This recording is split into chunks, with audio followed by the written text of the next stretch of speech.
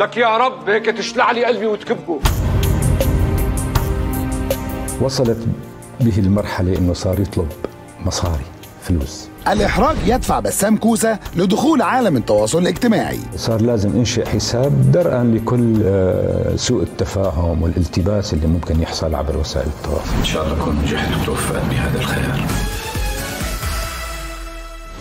هي هي الصفحة الوحيدة على الفيسبوك باسمي.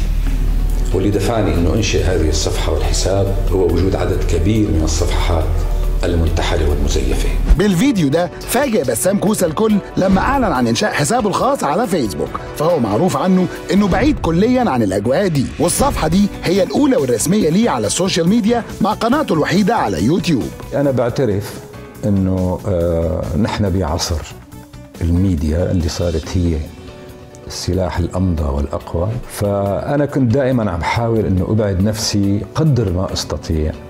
يعني إذا لم يلزمني هذا الموضوع فلا أستخدمه. يعني وصلت إلى مرحلة إنه فعلا متأخر جدا إنه موضوع آه، حساب على الفيسبوك. يعني لأنه أنا عندي فقط هو آه، يعني آه، قناة على اليوتيوب. بحب أكد أنه هي القناة هي المنبر الوحيد الخاص فيني على مواقع التواصل الاجتماعي. وباين إن القرار ده ما جاش من فراغ فحسابات كتيرة منتشرة على السوشيال ميديا بتحمل اسمه وتطرح أفكار بتنسب إليه. في هناك أناس آه، أنشأوا صفحات آه، باسمي واستثمروها بطريقتهم إما فكريا أو ثقافيا أو ماديا حتى. قد يكون رأي اللي عم بيطرحوه أفضل من رأيي. ولكن هو ليس رأيي. هذا الفرق. بيضع الشخص بمحل يعني حرج جدا أحيانا لأنه أنا لا أفكر بهذه الطريقة مثلا أو لا أعبر بهذه الطريقة. فعلى هذا الأساس آه، قررت أنه آه، لا آه، صار ولو الوضع متأخر آه، صار لازم إنشئ حساب درءا لكل سوء التفاهم والالتباس اللي ممكن يحصل عبر وسائل التواصل. واللي ما عجبها هي بيت اهلها مفتوح وما بدي يسمع ولا كلمة.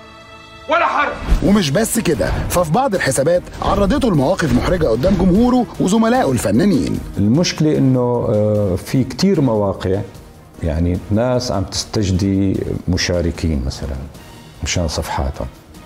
يعني هذا كارثي.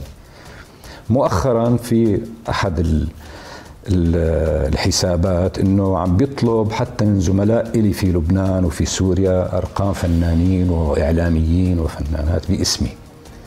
وصلت به المرحلة إنه صار يطلب مصاري فلوس. فهذا كان بالنسبة لي واحد من أهم الأسباب إنه هو آه، إساءة سمعة يعني و- وعلى